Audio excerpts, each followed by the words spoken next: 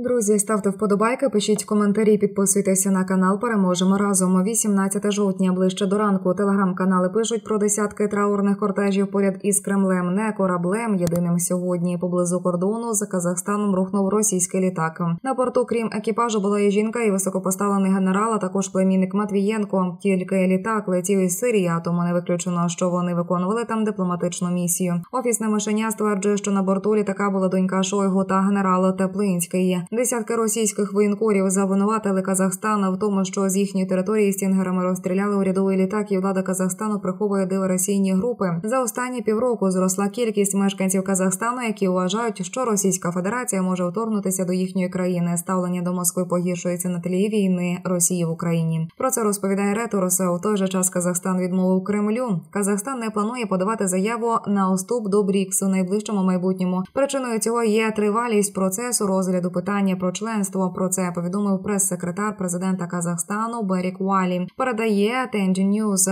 Він зазначив, що Астана уважно слідкує за розвитком Брікса. Казахстан також підтримує заклики лідерів країни, засновників організації, зробити усе можливе для створення справедливого і демократичного світопорядку, вільного від впливу будь-яких наддержав. Водночас зараз і швидше за все в найближчому майбутньому Казахстан утримається від подання заяви до Брікса, зокрема з урахуванням благоступеневого процесу розгляду питання про членство, а також інших моментів пов'язаних з перспективами розвитку цього об'єднання, пояснив речник. За його словами, президент Касим Жомарт Токаєв розглядав пропозиції щодо вступу до БРІКС, виходячи з національних інтересів Казахстану. Проте наразі Токаєв надає перевагу ООН як універсальній організації, де можна обговорювати усі важливі міжнародні питання. 2 вересня агентство Bloomberg писало про те, що Туреччина офіційно подала заявку на вступ до БРІКС, оскільки прагне посилити свій глобальний вплив і налагодити нові зв'язки за межами своїх традиційних західних союзників. Речник партії справедливості та розвитку Туреччини Омер Челік підтвердив намір 3 вересня. Пізніше президент країни Реджеп Таїп Ердоган заявив, що прагнення президента до БРІКС не означає, що Туреччина відмовляється від членства в НАТО. До групи БРІКС входять Бразилія, Росія, Індія, Китай, Пар, а також Іран, Об'єднані Арабські Емірати, Ефіопія та Єгипет.